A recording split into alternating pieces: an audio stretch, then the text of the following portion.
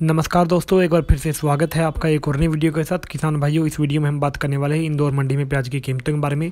और इंदौर मंडी में आवक आज क्या देखने को मिली, उसकी भी हम चर्चा करेंगे और साथ ही ये भी बात करेंगे जो इंदौर मंडी में तेज़ी या मंदी का जो माहौल है, वो कैसा देखने को मिल रहा है। तो किसान भाई, वीडियो को शुरू करने से पहले मैं आपको बता दूँ कि जो भाई यूट्यूब पर देख रहे हैं, वो यूट्यूब चैनल को सब्सक्राइब कर लीजिए और घंटे का बटन दबा दीजिए। लेकिन जो फेसबुक पेज पर देख रहे हैं, वो पेज को लाइक कर लीजिए और फॉलो कर लीजिए, जिससे मेरी हर एक वीडियो आप तक पहुँच रहेगी, आपको समय पर जानकारी मिलती रहेगी। चलिए वीडियो को शुरू कर लेते हैं। तो हमेशा की तरह किसान भाई, सबसे पहले हम बात करेंगे टॉप बोली की। तो आज जो टॉप बोली इंदौर मंडी में देखने को मिली, वो इकतालीस सौ अस्सी रुपये प्रति क्विंटल के हिसाब से देखने को मिली है।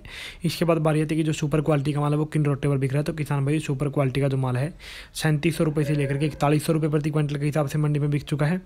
अगर मीडियम मीडियम माल की बात करें किसान भाई तो तीन हज़ार से लेकर के छत्तीस सौ रुपये प्रति क्विंटल के हिसाब से जो है मीडियम क्वालिटी का माल इंदौर की मंडी में बिक चुका है।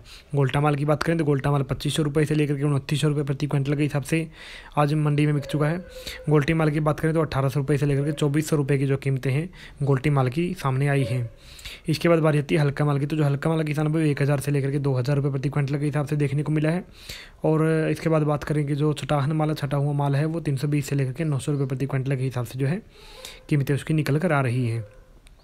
आवक की अगर बात करें किसान भाई तो कुल मिलाकर लगभग तेईस हज़ार कट्टे की आवक देखने को मिल रही है। पुराने प्याज की और नए प्याज की दोनों की मिलाकर लगभग तेईस हज़ार कट्टे की आवक देखने को मिल रही है। माहौल की बात करें तो किसान भाई, माहौल जो है कल के मुकाबले अस्सी अस्सी से मतलब अस्सी रुपये से लेकर के सौ रुपये तक जो है तेज़ देखने को मिला है।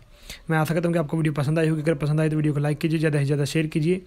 और जो नए हैं, जिन्होंने अब तक चैनल को सब्सक्राइब ना किया वो चैनल को सब्सक्राइब कर लेकर करके घंटे का बटन दबा दीजिए। जिन्होंने पेज को लाइक ना किया वो फेसबुक पेज को लाइक कर लीजिए। मैं कामना करता हूँ कि आपका आज का दिन शुभ हो और वीडियो देखने के लिए आपका बहुत बहुत धन्यवाद।